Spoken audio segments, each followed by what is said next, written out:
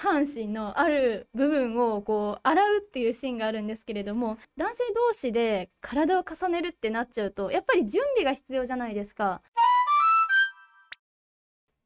皆さん、こんにちるちる。商業 BL レビューサイト、ちるちる記者の明智です。本日紹介したい作品はこちらです。小畑恒親先生の食べたくなっちゃったです。ね、こちらね、結構それこそこうほっこりハートフルな感じの絵柄になっておりますけれどもで攻めがこっちのね茶髪のね方でジンさんと言います。で受けの方はこっちの黒髪のねふわっとした表情をされている、えー、秋高さんです。本日はねなんとスペシャルゲストとして、えー、試し読み係のキリンさんがねこちらに 登場しております。よろしくお願いします。ということでねこちらねキリンさん読んだことありますか？読みました。おということでじゃあね今回は2人で紹介していきたいと思います。はいあらすじはねこの2人がなんとね高卒でしかも同級生でこう同期で入社された2人ということでね。でやっぱりこう家賃だったりあとはまあお給料面の関係もあるのでこうね節約のために2人がねなんとルームシェアを始めるんですね。うんうん。でそこからこう2人はこうバンドを通して意気投合。で生活リズムも結構合うのでなんとねあっという間に10年以上経ってなんと30歳になっちゃうということで、うん、えもはやこう家族同然の関係なんですよね。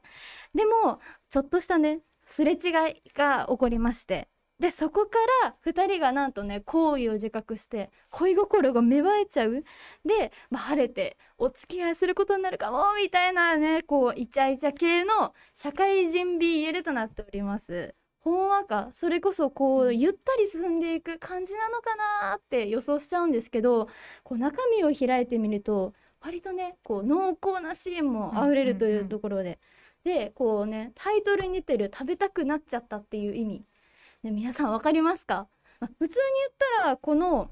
表紙がですね料理してるので、まあ、その料理、ね、食べたいのかなって思いますよね。でもね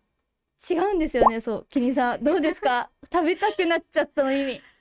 どうですかね？というのでね食べたくなっちゃった。実はねちょっと意味深な意味での食べたくなっちゃったも含まれてるっていうのがこの作品魅力となっております。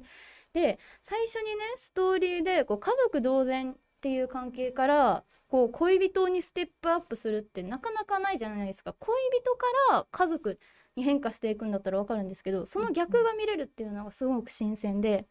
まあ、例えば、まあ、最初のねスキンシップで、まあ、手をつないだりだとか触れ合ったりだとかあとはキスをしてでそこのねこうじわじわ2人が距離感をね家族じゃなくて恋人として詰めていくっていうのがすごくね私はキュンときました。どうですかね？そういう関係の詰め方ってキリンさんどこ思えたとかありますか？濃厚なシーンばっかり記憶に残ってるので印象的なのはやっぱ割愛しないエロかなと思いました。ねもう今キリンさんが話されてましたけれども 割愛しないエロってどういうことなのっていうところもお話ししていきたいと思います。でやっぱり2人がねこう男の子男性同士で体を重ねるってなっちゃうとやっぱり準備が必要じゃないですか。でも結構 BL ってそういう準備をこう省略して本番に臨んでる、まあ、スピード感がねそういうところも魅力の一つではあるんですけどこの作品はなんとねそこを省かずちゃんとそのね準備をする段階から書かれてるっていうところがねもうとってもエモいんですよね。例えば、まあ、作品の中にあるんですけれども下の下半身のある部分をこう洗うっていうシーンがあるんですけれども そういうところのこうシャワーシーンとか結構がっつり書かれていてあこうやって準備してるんだだとかこうやってこう攻めにねこう抱いてもらうこの準備を着々としてるんだっていうところがもうとってもキュンとくるので是非見ていただきたいんです。でそうもうそこを見ていただきたいんですけれどもあともう一つ私が喋りたいんですけれども、ね、私喋りたいところどこだと思います？キリンさん。えー、どこですか？どこですか？そうわかんないです。ね というのでこう正解はこのね受けのね秋高さんのこう髪がね長くて目が隠れているところがねすごくねその一連がめちゃめちゃキュートなんですよね。ちょっと恥ずかしがりでこう前髪がね長めなんですけれども関係がこう進展していくごとにこう髪をねこうかき分けたらそうめちゃめちゃね可愛らしいお目目がこう海岸じゃないですけれどもこう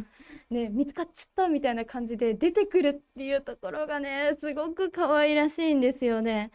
だからこう正面からだと、まあ、普通のね関係例えば部下だったりあとはまあ普通の同僚上司だとまあ見えないところがやっぱり恋人になるとこう上目遣いで見たりだとかあとはまあ体を重ねるからいろんな角度から受けを見るじゃないですか。ってなるとその髪の毛の間からこうチラリズムじゃないですけれどもチラチラって覗くこうね光るのでもうぜひ見ていただきたいなって思います。いやもう本当に言いたいことは全て言っていただけたんですけど、はい、やっぱこの2人の独特の時間の進み方というか読者も置いてけぼりにしない一緒に連れてってくれるみたいな感じで、ね、でも2人のスピード感というかちゃんとゆっくりだけどちょうどいい感じで関係が進展していくのがすごくいいなって思いました。はい、えー、チルチルではこちらのね先ほど紹介した食べたくなっちゃったをはじめとする商業 BL のねえー、作品をレビューしてそちらがねかなりこうコメントとして投稿されていますので、えー、ぜひねそちらも確認していただけたらなと思います。概要欄に、えー、そのリンクを貼っておきますのでぜひチェックしてみてください、えー、またね今回参加いただいたキリンさんはねなんと毎週金曜日にメルマガを更新されているということですか？本当ですか？本当です。えそちらのメルマガもねぜひ合わせて見ていただけたら嬉しいです。ということで今回は、えー、社会人 BL のね作品を紹介しました。ではバイチル